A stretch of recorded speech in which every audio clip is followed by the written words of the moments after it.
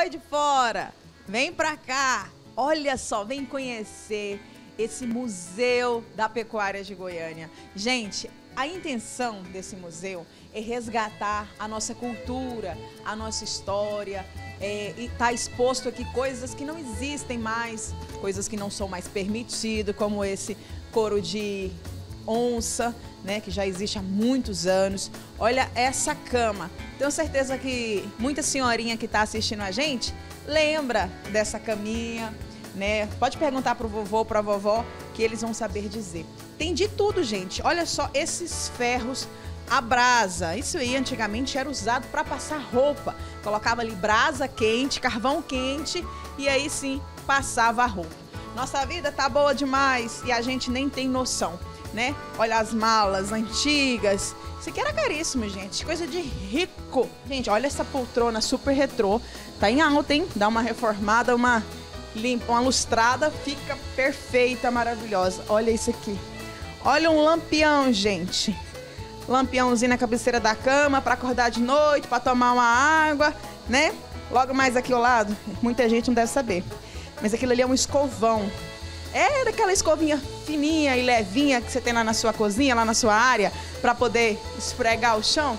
Era de ferro, pesado pra caramba. Olha só essa cozinha panela de ferro, chaleira.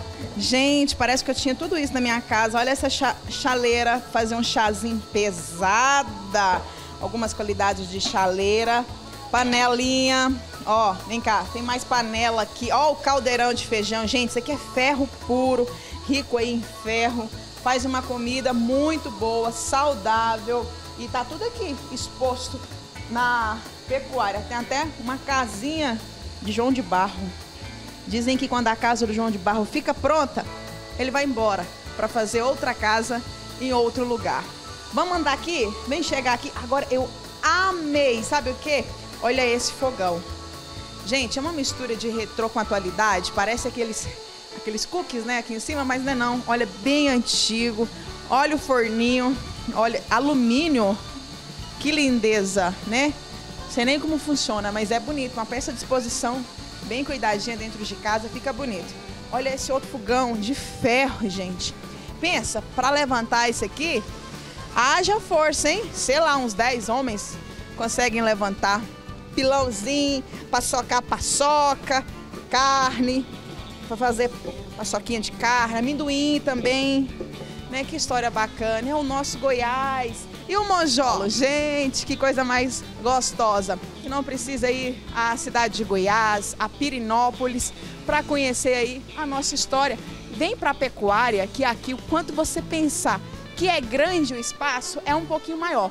Você paga a entrada lá no portão e vem conhecer o museu, que a entrada no museu é de graça. E a Bárbara Faleiro é a coordenadora aqui do Museu da Pecuária e esse local vai ficar aberto aí para a população até o final da exposição. Isso, até o final da exposição nós estamos aqui aberto, com, recebendo agora o projeto escola, todo dia tem o projeto escola, passando aqui em torno de mil crianças, todos os dias. Agora aquela pessoa que não estuda e quer vir aqui pode também? Pode também. Isso é moenda ou é engenho? Os dois, moenda e engenho. Oh, porque lá do Rubiatava sabe o que é moenda, né? e vem cá, o senhor, dizendo Eduardo Costa que tem o cachaceiro e tem o consumidor. O senhor é qual dos dois? Só cachaceiro. Só cachaceiro. Faço cachaça. Há quantos anos? Há 63 anos. Mas não é consumidor? Não. Não sou consumidor. Ai, gente, eu lembro meu papai Oswaldo, que bobo! Como é que o senhor chama? Antônio. Ah, Oswaldo Antônio, o nome do meu pai também. Que bom. É. O senhor tá com quantos anos? É, 71. 71, ó. Corta, e aí... corta o cano o dia inteiro ainda, é graças mesmo? a Deus. É muito parecido com meu pai, até na história. Entrei para trabalhar para o Senar Goiás para experimentar. Em outubro fez 15 anos roda, ah, rodando Goiás. Tá certo. Seu Antônio, prazer conhecer o senhor. Igualmente. Tá? E a garapinha aí fica pronta? A garapinha tá aí. Tem um cadinho aí? Isso. Tem um... Tomar um caldinho. Eu tomar um cadinho de caldinho. Põe aí pra nós. Como é que faz pra pegar?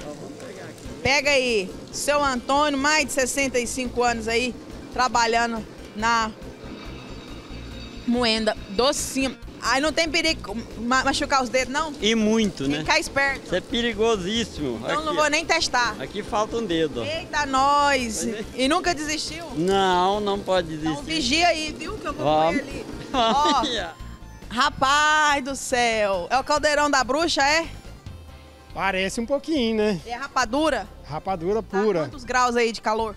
Chega a 110 graus de caloria dentro do tacho. Tá amarrado, bem longe de nós, né não? Não é fácil, Mas, não. mas né? como é que faz? Vem da cana, aquele líquido, passa por essa transformação e depois fica rapadura, dura e doce. Com certeza. Dizem que rapadura é mole, mas não é, não é, como é que é dura. Rapadura é que nem a vida. É doce, mas não é mole, né? É doce, mas não é mole. Olha isso, esse processo está acontecendo aqui nesse museu. Dá vontade de botar o dedo, ver se tá doce, mas não vou fazer isso hoje não, outro dia, tá? Fica à vontade. Não, obrigada, de nada. Bom, né? Fica quanto tempo esse, esse processo aí nesse caldeirão? Aqui dentro do tacho fica de até 4 horas de prazo. É, e aí daí vai pra caixinha Daqui a gente monta a forma, né? Bate melado e forma a rapadura. e depois de colocar na forminha dura quanto tempo lá pra poder ficar pronto? Depois que vai pra forma é questão de 30 minutos. Marco Antônio, você quer um desse cheio, ah, Marco Antônio? Você quer um barril desse cheião pra tu, é? Levar pra casa. Consome quantos dias? Uma semana? Dois dias? Menino do céu. Ó, olê, mulher rendeira. Você quer a máquina de fiar, né? Olê, mulher rendar. E é isso aí, gente. Olha isso, tem curral. Olha o curralzinho ali, que tem até uns bezerros ali, que um dia tiveram vida, hoje não tem mais. Estão aqui expostos também, né? São vários animais expostos aqui, que retratam bem aí a vida no campo, o estado de Goiás, as nossas riquezas, as nossas origens. E claro, Goiás é um estado muito rico. E a gente só tem a ganhar ao lembrar aí de onde a gente veio. E claro, passado tem tudo a ver com o futuro e para onde a gente vai.